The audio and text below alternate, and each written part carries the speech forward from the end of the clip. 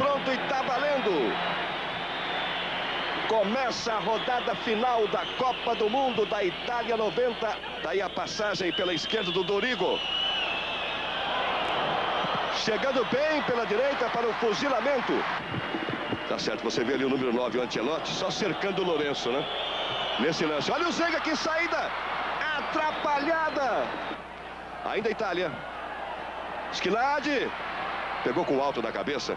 Deu sobra para o Walker. Olha o rebote da Itália. Shilton tá bem atento. Badio tentou da meia direita. Badio.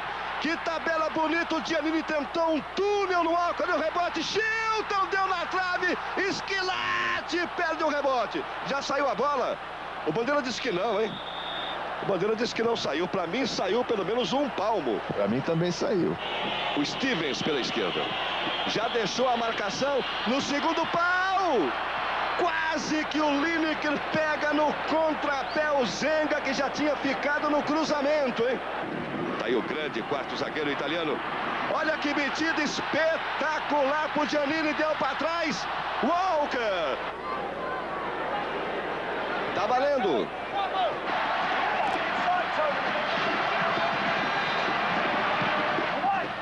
Escanteio pelo pau. Olha que bola perdida. Maltini. Olha que bola cruzada. Chegou tarde. Esquilade. Lineker.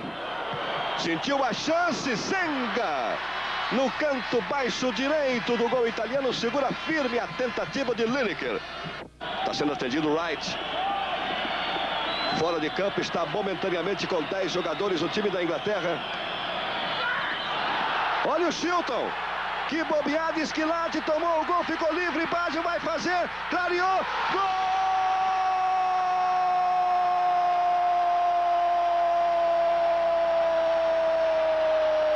da Itália! Tá lá dentro, Baggio, número 15. Na bobeada incrível da saída de bola do goleiro Peter Shilton. Clareou bem, se meteu no mano a mano com a zaga. Baggio rompeu a marcação, clareou o lance, tentou bater por gol. Walker! Lineker. Olha a sobra. Zenga!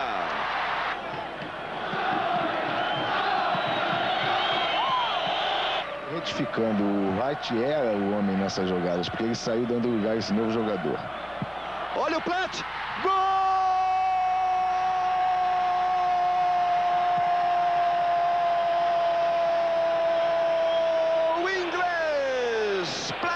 Número 17. Um cruzamento do fundo. Ela veio com a zaga aberta. Ele fulminou de testa Zenga. E Baresi recomeça com a Itália. Veja o toque italiano. Baggio, autor do gol da Azurra, sentiu a chance com o Esquilade, passou no vão das pernas do Parker, o juiz vai marcar o quê? Penalidade máxima contra o time da Inglaterra. Esquilade, gol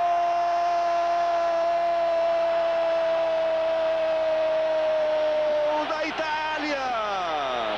Tá lá dentro, Esquilade de pênalti. Dois para a Itália, um para a Inglaterra em Bari, valendo o terceiro lugar. Olha que toque de cabeça.